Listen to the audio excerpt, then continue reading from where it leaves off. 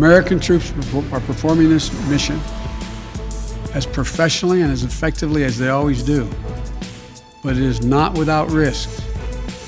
As we carry out this departure, we have made it clear to the Taliban if they attack our personnel or disrupt our operation, the U.S. presence will be swift and the response will be swift and forceful.